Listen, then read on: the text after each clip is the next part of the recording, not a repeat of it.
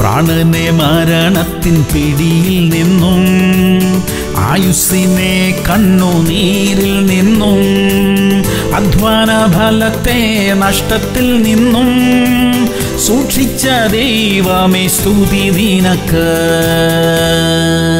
മത്തായി ഇരുപത്തിയാറ് എഴുപത്തി അഞ്ച് കോഴി കൂകും മുമ്പേ നീ മൂന്ന് വട്ടം എന്നെ തള്ളിപ്പറയും എന്ന് യേശു പറഞ്ഞ വാക്ക് പത്രോസ് ഓർത്ത് പുറത്തുപോയി അതിദുഃഖത്തോടെ കരഞ്ഞു. പ്രിയമുള്ളവരെ പത്രോസിന്റെ ജീവിതത്തിൽ വരാനിരിക്കുന്ന ഒരു വലിയ പരീക്ഷയെക്കുറിച്ച് യേശു കർത്താവ് മുന്നറിയിപ്പ് നൽകിയിരുന്നു. എന്നിട്ടും പത്രോസിന് തെറ്റുപറ്റി. അതൊരു വലിയ തെറ്റായിരുന്നു. എന്നാൽ ആ തെറ്റിനെ തിരിച്ചറിയാനും പശ്ചാത്തപിക്കാനും പത്രോസിന് കഴിഞ്ഞു. അതാണ് വിജയം. തെറ്റു സംഭവിച്ചു എന്ന് ബോധ്യപ്പെട്ടാൽ ലജ്ജ കൂടാതെ അതിനെ അംഗീകരിക്കാനും ക്ഷമ ചോദിക്കാനും കഴിയണം. അവിടെയാണ് അനുഗ്രഹമുള്ളത്. പ്രാർത്ഥിക്കാം. സ്വർഗീയ പിതാവേ തെറ്റുകളെ തിരിച്ചറിയാനും തിരുത്തുവാനും സഹായിക്കണമേ. പശ്ചാത്തപിക്കാനും ക്ഷമ ചോദിക്കാനുമുള്ള കൃപ തരണമേ. യേശു ക്രിസ്തുവിന്റെ നാമത്തിൽ തന്നെ. ആമേൻ ആമേൻ ആമേൻ.